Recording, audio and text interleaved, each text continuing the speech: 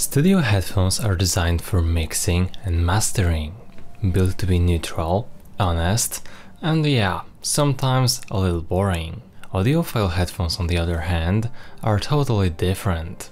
They are meant to sound pleasing, emotional and fun. But can a studio headphone like the OLLO Audio X1 actually do both? And is it real hi-fi?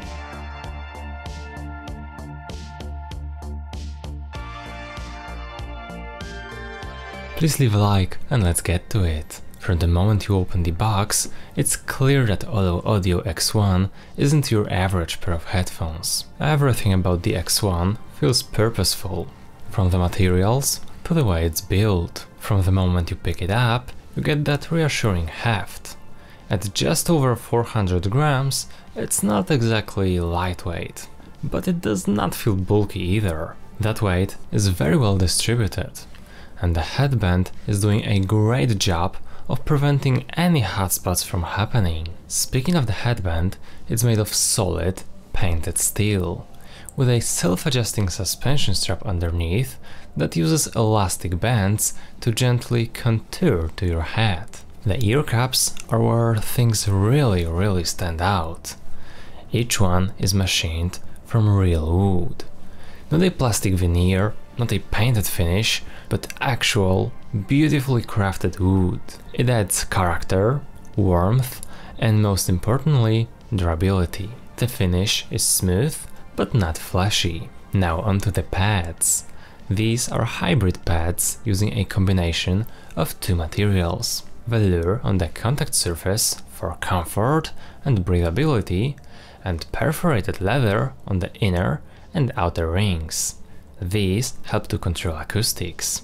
The memory foam inside is firm but forgiving, and they are deep enough to avoid any contact to your ear for most people. The fit is snug and the clamp force is on the tighter side. If you're used to looser fitting audiophile cans, this might take a little getting used to, but once they settle in, they stay put and do their job very well. The pads are also user replaceable, not just in theory, but in a way that actually makes sense. The whole headphone follows this philosophy. Modular, repairable and service friendly. That's basically unheard of at this price, or honestly, in headphones in general. The X1 also comes with a very sturdy carrying case. This isn't just a soft pouch or something you'll toss in a drawer. It is a molded, semi-rigid case with a handle designed to actually protect your gear. Inside it has room for the headphones and the included cable, which is 2 meters long and is terminated with a standard 3.5mm plug. You also get an extra quarter inch adapter in the box. It's a dual 2.5mm connection at the caps with locking connectors that feel super secure. There is also a forward angle to the cable entry, so it hangs more naturally. As for day-to-day -day comfort, it's solid. Not luxurious, but functional, stable and ergonomic.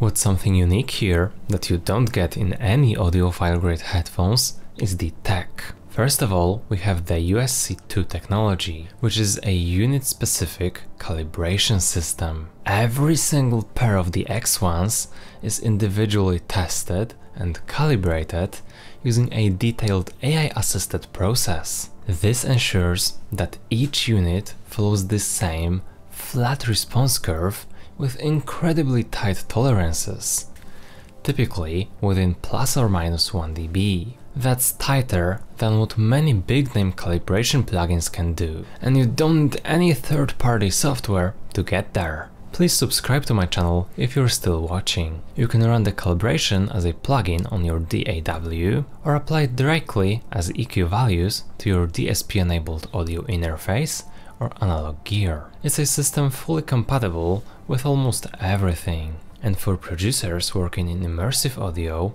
the X1 can switch into spatial mixing mode. It's complete with a binaural profile and even the popular Harman curve. so you can cross-check your mix against more consumer-tuned references. All this makes the X1 not only a reliable monitor, but a full mixing ecosystem you can trust, and it allows you to tinker with it for audio enjoyment in hi-fi setups. The X1 is an open back over-ear headphone with a 50mm dynamic driver, which is running on neodymium magnets and a proprietary composite membrane made of PU and PET.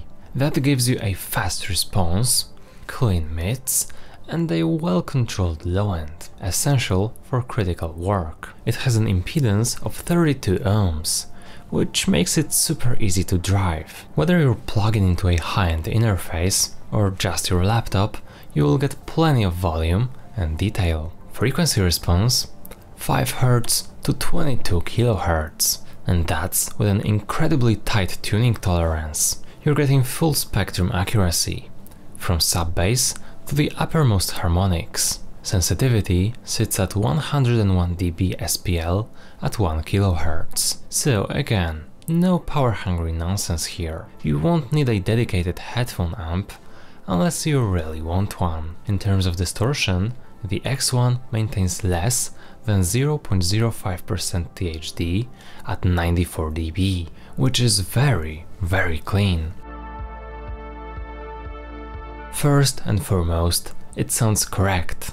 That's a good start. The OLLO Audio X1 doesn't color, hype or sweeten the music. It just shows you what's there. The tonal balance is incredibly flat, so what you hear is consistent and true to the original mix. There is no boosted bass, no scooped mids, and no splashy highs. It's as neutral as a headphone can get. But it doesn't sound dry or sterile. You can call it boring, but is it really? Let me know in the comments down below whether you think neutral gear sounds dull. The bass is tight and quick.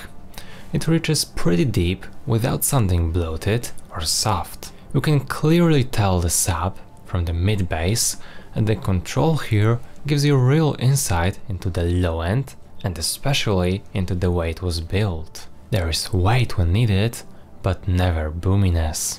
The mid-range is natural and unforced. Vocals, instruments, ambient cues, everything feels like it belongs in a mix. Nothing is pushed forward, nothing buried. You just hear the music as it was intended. In the treble, the X1 stays smooth and refined. There is enough extension to catch air and texture, but without any harshness. That balance is rare, especially for something in this price range. You don't get a huge, cavernous space, but the placement is precise and there's a real sense of depth to it. So we're not just talking left and right, but slightly front to back too. It doesn't exaggerate things, it just presents them with honesty. Dynamics feel alive. The X1 is rather quick to react to transients, but it never does it in an aggressive way. Detail retrieval is subtle but satisfying. You'll catch fades, reverbs, all the micro stuff, but the headphone doesn't scream look at this. Compared to something like the Beyerdynamic DT990, the difference is big. The DT990 often gets recommended for mixing, but it's aggressively bright. It can make you chase problems in a track that don't exist anywhere else. For hi-fi listening, it's even more of an issue. Sharp treble, unnatural tone, and limited technical ability. It might sound flashy at first, but that gets old pretty fast. The X1 avoids all that. Whether you're mixing, listening critically, or just enjoying your favorite album, the X1 gives you a version of the music that's honest and deeply listenable. It doesn't flatter, it just delivers. Whether it's the sound you want, it's obviously up to you.